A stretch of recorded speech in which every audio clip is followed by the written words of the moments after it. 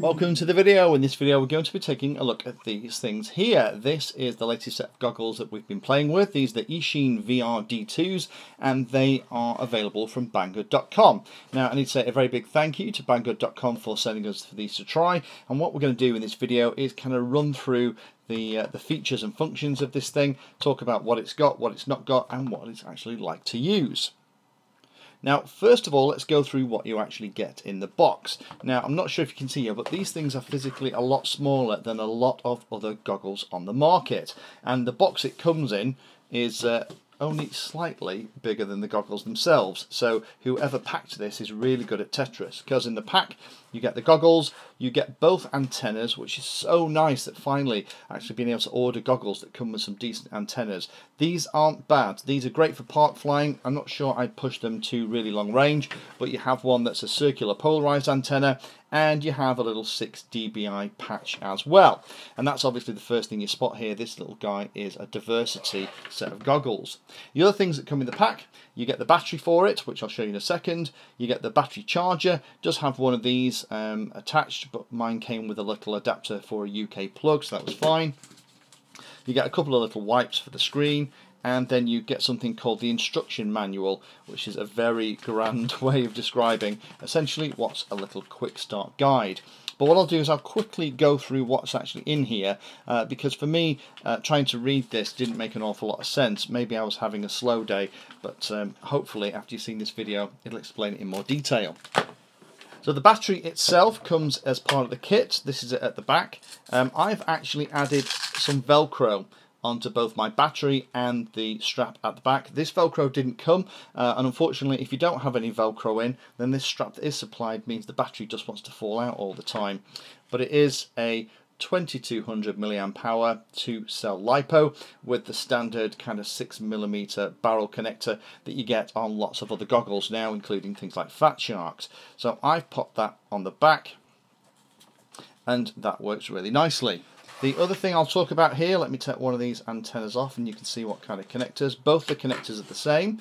Uh, they're RP-SMA or they have the little uh, pin in the middle. Uh, not a disaster, but for those of us like me who have loads and loads of antennas that are the other way around, that are SMA connectors, that is going to need an adapter to work with any other antennas in the group. There's a little SD card slot at the top, takes up to a, I think it's a 64 gig little SD card. Uh, that's because this little guy also has a little DVR inside it as well. So let me go through the controls on the front. The band and the channel buttons actually choose between the different frequencies that you can get hold of. This is a full 40 channel receiver in here, so you will get A, B, E, F and also race band, so pretty much whatever your little model is going to transmit on, this little guy will pick it up. Then we have really two sets of buttons under here. You can think of this set for navigating through things like the DVR menus and this set over here for really navigating through everything else. Now that's this is the little bit that confused me because it wasn't clear about how this all works. So let me power it up and I'll kind of show you this thing in action. So to power it up you just connect the barrel connector into it. It has a little piezoelectric buzzer inside and when it's booted you'll be able to see the screen. There it is. Okay, so uh, what you can see in here is we're actually looking at the AV mode. If I press the camera DVR plus button, it takes us between this view, which is the view of the DVR, and the main screen as well. So let me just very quickly hook up a video and I'll show you what the image looks like inside the screen.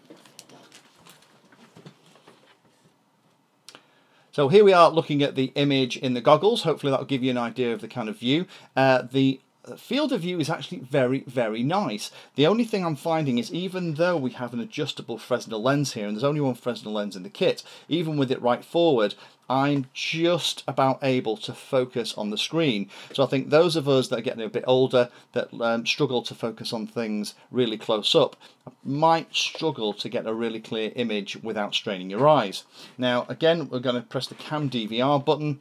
Uh, so at the moment, that is on the DVR. You can see at the top right hand corner, we can see like the SD card, the screen and whatnot. To record is really straightforward. You just press the very right hand button here and you'll notice in the bottom right hand corner the numbers go red and now we're actually recording my battery's getting a little bit low so that's why it uh, is starting to squeak so it does have a low battery alarm so in terms of comfort, it is reasonably comfortable. The only challenge that we have here is the, the, the nose notch. Uh, those of you that watch my channel a lot know that um, my big conch means that unfortunately sometimes I have to, uh, to, to fit this part of the goggle around my face and this is nice and big so I don't have that problem. The problem that I have here is actually the other problem where this is such a large recess and there isn't any foam around it that there is quite a bit of light leak so you do have a bit of a challenge with that. You can set the DVR for a HD mode. There's absolutely no point in doing that. It has kind of three modes in here already. You access all the DVR menus by pressing and holding the square button while you're on AV2. Um, that's where we were just recording. If you press and hold that, it'll take you through all the settings. To be fair, I would only ever record in the VGA mode. The image here on the screen is an 800 by 480 screen anyway. It's only going to record the image at 640 by 480 anyway. So bumping up the quality of the DVR isn't going to be fantastic. All you're doing is consuming a lot more space on your card and not getting any additional quality. So my tip is leave it on VGA. The card will last a lot longer and you won't pay the penalty of any extra work in the goggles.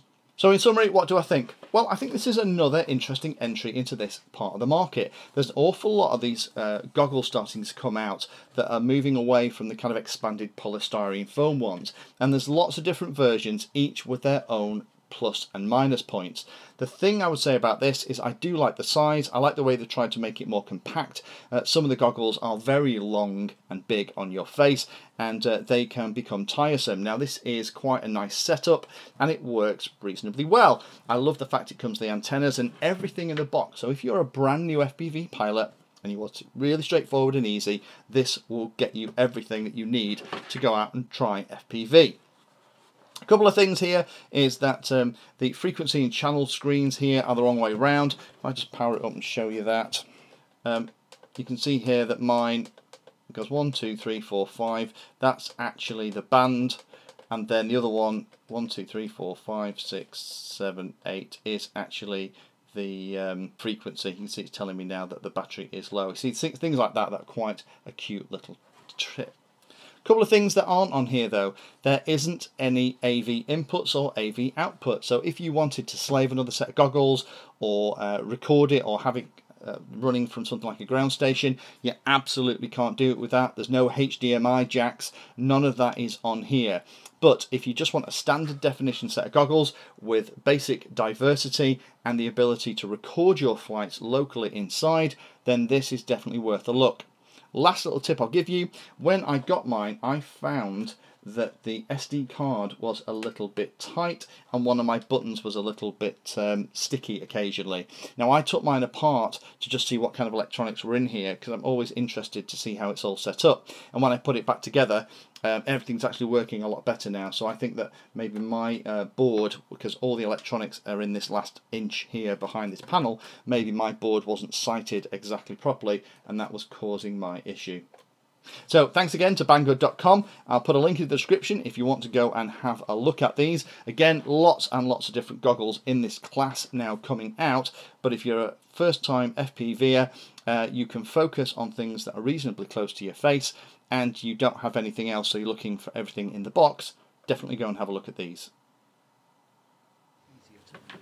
Thank you for taking the time to watch that video. There are lots of other videos on the channel and they're carefully ordered into playlists, so you may find that there are other videos on this same subject that you can go and watch. So I would recommend going into the playlist area of Painless 360 YouTube channel and looking around and seeing what there is. You never know what you might find.